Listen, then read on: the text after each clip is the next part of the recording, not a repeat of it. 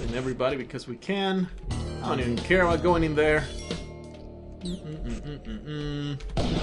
Here's another crate I'm totally hopeful for. We're really relying on uh, crates. Uh, oh, here's where we have to die.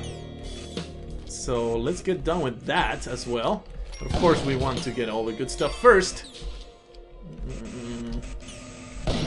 No, more bombs. Okay, with more bombs, I'm not going to complain about more bombs. Uh, we wasted our parachute.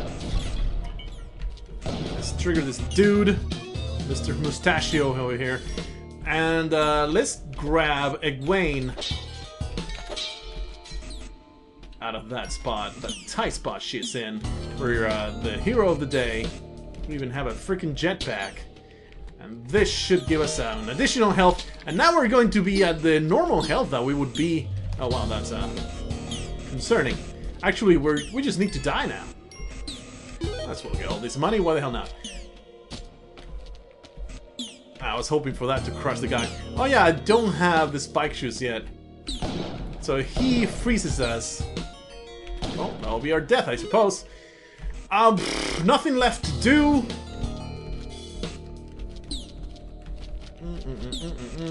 Let's see if we can get frozen. I don't know if that even works. Get frozen with a shotgun? Fall into the abyss?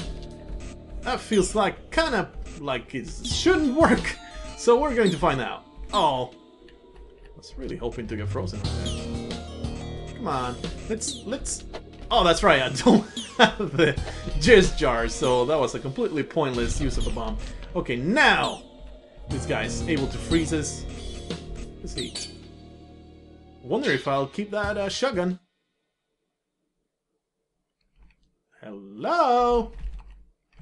Oh, um, looks like we have broken the game. Uh, yeah. we don't get to keep the shotgun, we get to crash the game and completely ruin our chances to get to hell in the process. I don't think I can do absolutely anything about it. I'm hitting every key like a maniac. That was interesting, now you know. Oh, the ghost has arrived, so the game's still going.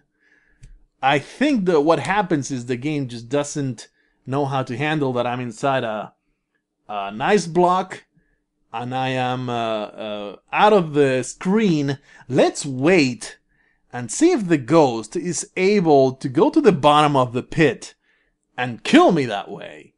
Maybe uh, that'll trigger the ankh. We're going to sit here for a while. I'm going to drink some water. Why the hell not?